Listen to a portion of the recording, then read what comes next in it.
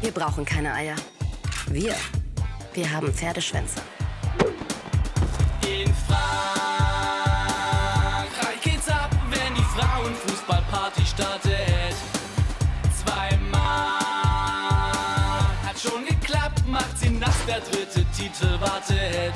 Letztes Jahr in Russland haben die Männer gezeigt, wie man eine WM mal so richtig vergeigt. Doch jetzt kommen die Frauen,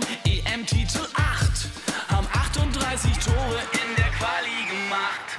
Männer stehen auf Schwalben und Schauspielerei. Zum Glück sind Mimi, Mimi, Mimosen bei den Frauen nicht dabei. In Frankreich geht's ab, wenn die Frauenfußballparty startet. Ist aber volle Pulle. Zieht voll ab, aber haut das Ding nicht an die Latte. Was macht sie denn? Handspiel, muss ein später geben.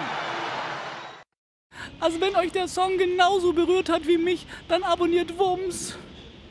Und wer spielt eurer Meinung nach den besseren Fußball? Männer oder Frauen?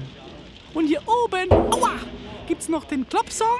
Und hier und hier unten die allerneueste Monsters of Kreisklasse Folge von Staffel 2. Die sind so süß. Ich finde die auch toll.